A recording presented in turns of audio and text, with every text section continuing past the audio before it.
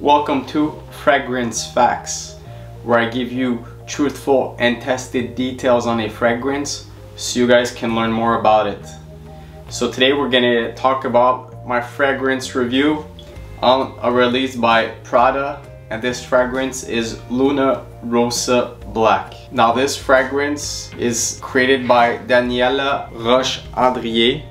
It's a 2018 release eau de parfum concentration classified as an amber woody. Now what you're gonna get when we first spray on this fragrance is gonna be this light bergamot citrus with musky earthy, this angelica patchouli, and this spicy cinnamon tonka bean vanilla light powderiness, as well as some amber sweetness. So it's gonna be fresh, earthy, spicy and sweet. When you're in the mid, you're gonna get this musky, earthy, angelica patchouli woods, vanilla tonka bean light powderiness, and a syrupy amber sweetness. So it's gonna be fresh, earthy, woody, and vanilla sweet. In the base, you're gonna get again this musky earthy patchouli with a woody ambery vanilla tonka bean but here it's not gonna have that powderiness. It's gone. So it's gonna be this musky earthy woody and sweet scent.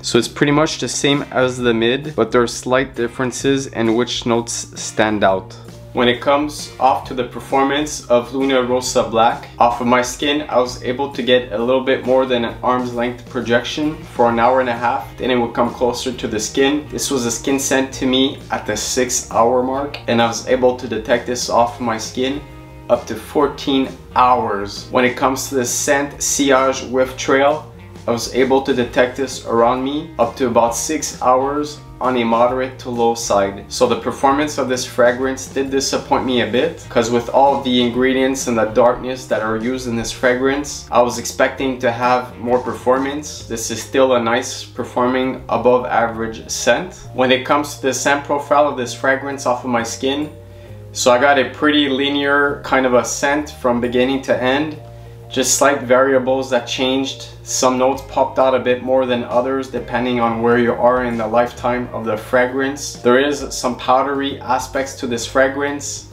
It's going to be due to that tonka bean. It's going to be due to the way the vanilla is used. And as well at times that angelica, the way it's made, is going to give it this kind of a bit of a powdery touch but it's not overly powdery and that powderiness will die down. Actually, the Angelica is used in here, the way that the Tonka Bean Vanilla is used. It's gonna at times give you a little resemblance to Jean-Paul Gaultier's La Male, but obviously these are not the same scents at all. This one is darker, it's got the patchouli, it's got woodiness, it's got that ambery touch, and as Jean-Paul Gaultier's La Male is a aromatic fougere but it's just to give you an idea of when you do smell it, you're gonna be like, hey, you know, there's a couple of notes here that stick out that does remind me of Jean-Paul Gaultier's La Male. The scent profile is nice, I do enjoy this, and for the compliment factor off of my skin, Guys, I got solid 9 out of 10 reactions with this fragrance. I had women tell me that it smells sexy, and I've actually had a colleague at work that usually wears the typical uh, Acqua di Gio's fresh and clean scents and he loved the way this smelled off me and he wanted to know what it was. And when I told him that it was a Prada fragrance, he was shocked because this guy didn't even think that Prada made fragrances. so go figure. And this fragrance is not a clone of other scents, but guys, there's a strong resemblances in this type of a fragrance with other ones, such as Discontinued Gems Midnight in Paris by Van Cleef and Arpels and another fragrance is going to be by Bulgari and it's the Hockey Puck Bulgari Black.